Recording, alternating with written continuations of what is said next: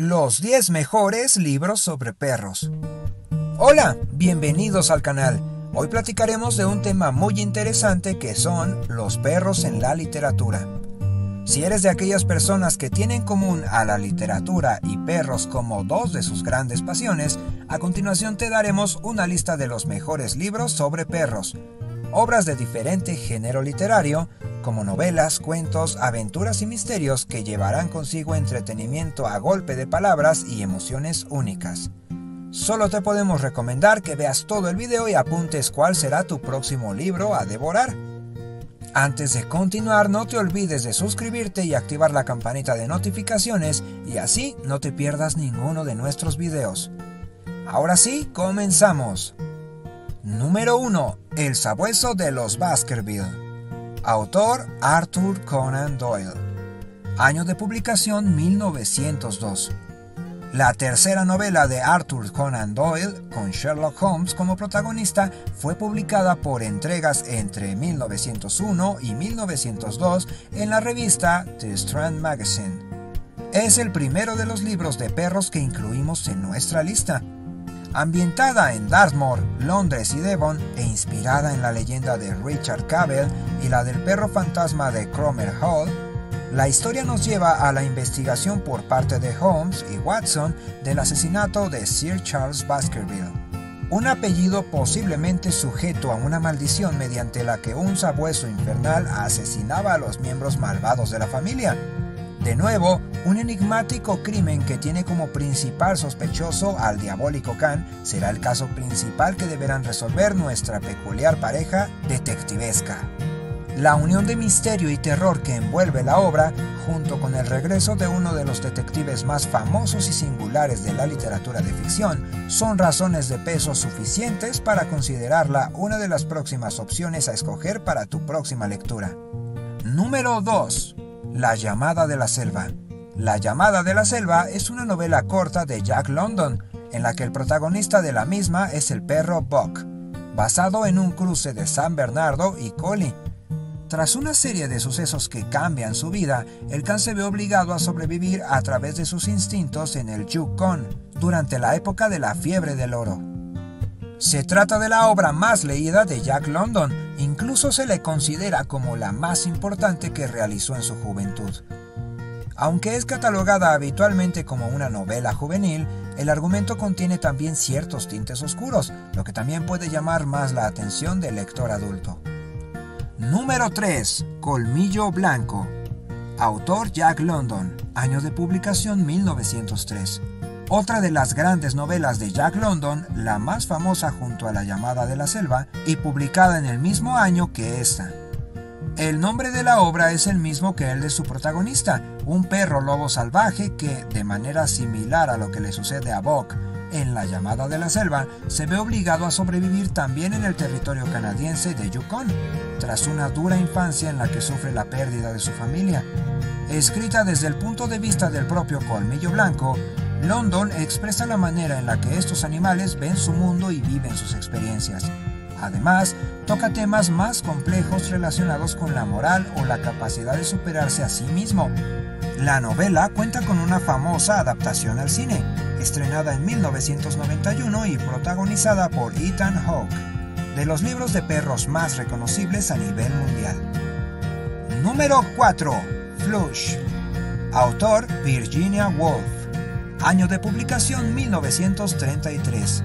La obra de Virginia Woolf tiene como protagonista a un Cocker Spaniel llamado Flush, al que su vida da un giro de 360 grados, al convertirse en un regalo de la escritora Mary Russell a la poeta Elizabeth Barrett. El perro deja de vivir en una granja para tener un nuevo hogar en la ciudad de Londres, con todo lo que implica adaptarse a una gran urbe. La importancia del personaje de Flush rescindirá sobre todo en su convivencia como compañero inseparable de su nueva propietaria, con la que entablará una gran amistad. Toda la novela está escrita desde el punto de vista del protagonista canino, por lo que todo lo que conocemos lo hacemos a través de él. Nos convertimos con la lectura de la misma en testigos principales de sus esfuerzos por comprender el mundo que le rodea, en una historia ambientada en la época victoriana. Número 5. Ciudad o City. Autor Clifford D. Simac. Año de publicación 1984. Junto con Sirio, la novela de Olaf Stapledon, el otro gran libro de perros de ciencia ficción no es otro que Ciudad, de Clifford D. Simac. La estructura se divide en ocho relatos, narrados todos desde el punto de vista de perros, y ejercen de hilo conductor la familia Webster primero y más tarde el robot Jenkins. La obra cargada de altas dosis de fantasía y misterio nos acerca a un lejano futuro en el que la raza humana se ha ido extinguiendo lentamente para dejar paso a un mundo en el que los perros y robots tienen el control. Número 6. Fue él Autor Stefan Zweig. Año de publicación 1987. El relato corto de Stefan Zweig no vio la luz hasta 1987, a pesar de haber sido escrito a finales de la década de los años 30. Con un estilo basado en el de autores como Agatha Christie o Hitchcock en el cine, el autor narra una historia en la que reina la intriga, la pasión, los celos y el tono detectivesco, el argumento se centra en una pareja que se acaba de mudar y que convive con un oscuro pasado en el que tiene un papel especial Ponto, un perro bulldog. Número 7. Tombuctú. Autor Paul Auster. Año de publicación 1999. La novela de Paul Auster nos describe la vida de Mr. Bones, integrante perro y fiel compañero del humano Willie G. Christmas un poeta vagabundo de Brooklyn con el que convive. A pesar de que el can no puede hablar, entiende a la perfección a su amo, al igual que las emociones del resto de humanos más cercanos a él, aunque es con su amo con el que más existe complicidad. El argumento se centra principalmente en el objetivo de Willy de encontrar un hogar a Mr. Bones, al presentir que el final de su vida está cercano. Número 8. Llévame contigo. Autor David Grossman. Año de publicación 2000. Otro de los libros de perros a tener en cuenta. Ya en el siglo XXI, David Grossman publica una obra con la que nos traslada a Jerusalén, lugar en el que el joven de 16 años, Asaf, recibe el encargo de encontrar el dueño de un perro perdido. Juntos formarán una pareja divertida que deberá afrontar diferentes situaciones en el camino hacia su objetivo, en el que además conocerán a Tamar, una joven que intenta salvar a su hermano. Los tres acabarán siendo los protagonistas de una historia emocionante, universal y con tintes de humor que recibió un gran apoyo de crítica y lectores. Número 9. La perra de mi vida. Autor Claude Dunton. Año de publicación 2007. Claude Dunton acerca a los lectores con su libro La perra de mi vida la importancia de Rita, una mascota canina rebelde que no solo está por la labor de obedecer, sino que es capaz de provocar alguno que otro desastre. Su dueño, Claude, con el que convive en una granja francesa en plena ocupación alemana, es el único que le aprecia. Será a través de ella como tanto Claude como los lectores seamos conscientes de la desolación que inunda su alrededor, para lo que Rita demuestra una resistencia ejemplar. La obra de Downton une por tanto sensibilidad y drama para caracterizar los tiempos difíciles que viven los protagonistas, con toques de ironía intencionados e incluso parodia para llegar aún más al lector. Número 10. Trece perros.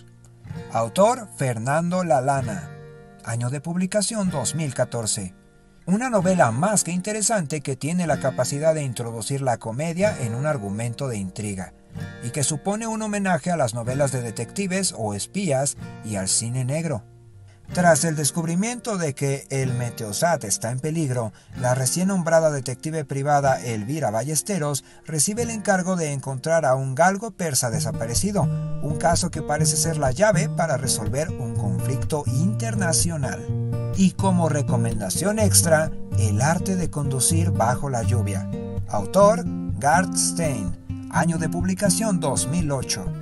Otra emotiva historia que reúne drama, amor e intriga en la que el narrador y el protagonista es el can llamado Enzo. El perro es el compañero de vida y mejor amigo de Dennis Swift, un joven piloto de carreras mediante el que Enzo ha aprendido sobre la condición humana y ha llegado a comprender cuestiones del mundo que le rodea que los de su especie no pueden.